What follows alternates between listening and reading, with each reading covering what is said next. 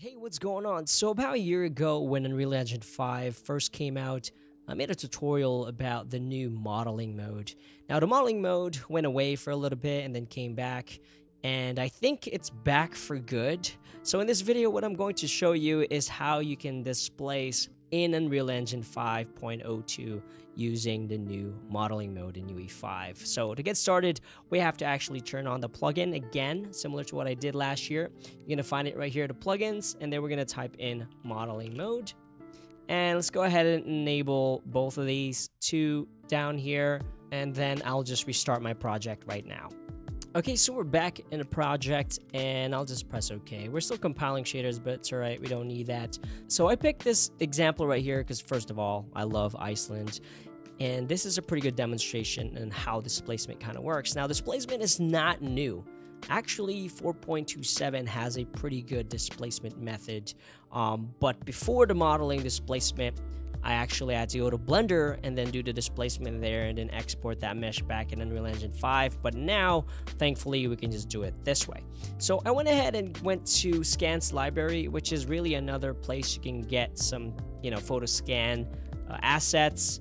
So I have this, I bought this Pebbles right here, and I am not affiliated with Scans Library. Let's just put that out there. And I went ahead and downloaded it into my computer and here are the textures that we're going to be working with. So the first thing we need to do is actually create a plane and I'll just press G to just go ahead and hide those. And I'm going to select mode and then click on modeling and that is going to go ahead and bring up the modeling mode that we talked about. And then I'm going to create a new rectangular right here. And eh, that's pretty small there. Let's go by 400 by 400 and then I'll just go ahead and click on there so you can see that and now we'll go ahead and press escape and that's going to exit out of that mode. Now I'll just kind of put it on top right here and I'll go ahead and disable the snap right here because what I want to do is just kind of lay this on top. Now obviously the pebbles doesn't really match this but you kind of see what I'm trying to do here in a second. The next thing we're going to do is actually take this and actually add a little bit more detail to it. Now again, I used to do this in Blender, but now you can do this in-house in Unreal Engine 5 by going to Remesh. So if I click on this plane or rectangle, I can actually click Remesh and we can add a little bit more triangles in there, more quality, because this works best if you have a lot of triangle counts. So as you can see right there, we have 5,000. You can choose whatever you want. If you don't like your computer too much, put it to a billion. But I like mine, so I'll just put it to like 100,000 or so. And after that, I'll just go ahead and press accept. Okay. So after that's done, I'm to go ahead and create a new folder here. And we're just to name this Pebbles. I don't know if that's how you spell it. I think it is. And we'll just drag and drop our textures in We're gonna albedo, AO, height map, normal, roughness spec, and we'll just drag it in here. Now, really, I'm hoping for maybe Scans Library would kind of come up with their own plugin so I don't have to kind of manually put all this stuff in here. So Scans, if you guys are watching this, that would be really cool if you can just directly import your assets into Unreal instead of having to manually create these materials. So go ahead and go to the albedo and let's create a material. Double click that and we'll just start plugging some stuff in here. Is like my favorite part of Unreal is just plugging some stuff in. It's so satisfying. It looks so... Oh, not the height map. I'm to skip the height map. We're to go to normal. looks like I'm actually know what I'm doing here. But really, I'm just reading roughness. And then we're to go to roughness. I'm just reading. Yeah, specular. Drag it in there.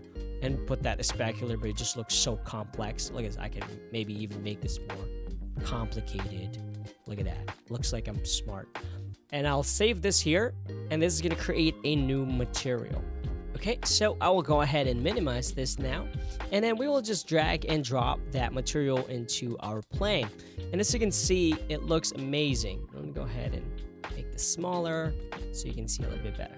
That looks great, right? And I am in cinematic, so let me go ahead and turn this down to epic because I am recording in the same computer. And as you can see, I am texture streaming over pool budget already. So I'm gonna go ahead and take care of that real quick. And I'll turn that to zero, so that's gonna, you know, make that go away. So we have this texture now, but as you can see, it's pretty flat. Now, in real life, if you've been outside uh, lately, if you look around you, there's really not a lot of stuff outside that's flat, especially gravel and pebbles. There's a little bit of kind of like detail and height to them. There's randomness in there. It would never look like this. This is as flat as a grandmother's cookies. All right. So the displacement, really, what it's going to do is just make it a little bit more interesting, in my opinion, more realistic. And to do that, we go back to this modeling mode. You're now going to see a displace under deform. If I click on this, it's going to do his little Where's Waldo thing. That's fine. By default, it's going to be in Perlin noise. And as you can see, wow, that looks horrible. But that's okay. We're going to go ahead and take the displacement type to texture 2D map. And we're going to go ahead and take this height map and then drag and drop it into the displacement map. Okay, and just like that, you saw what happened. It's not flat anymore. It actually gave it a little bit more shape to it, you know? And I know this is pretty extreme at 10. So if you want to, you can actually go ahead and change this to say 5. And as you can see, it's not as extreme.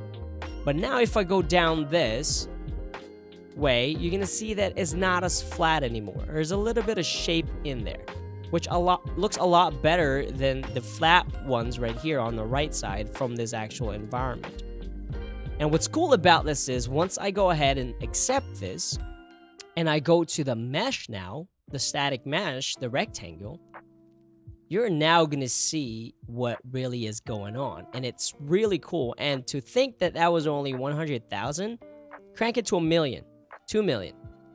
But you see that if I make this bigger, the actual rectangle floor is now displaced, which is super freaking cool.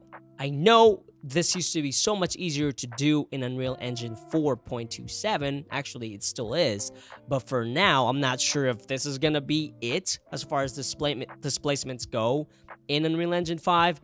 But for now, at least, you know, you don't have to go to Blender or something like that to go ahead and displace because you can actually do it all in engine here. So that's pretty much it. Go ahead and go crazy. Test some stuff around, the displacement stuff. Doesn't have to be just a plane like this. You can try it on assets as well, as long as you have the displacement texture. Now, if you have any questions, let me know. And again, if you haven't done so, please do like this video and subscribe to the channel. I'm actually trying to get 100,000 subscribers this year, and I really do need your help. Peace out.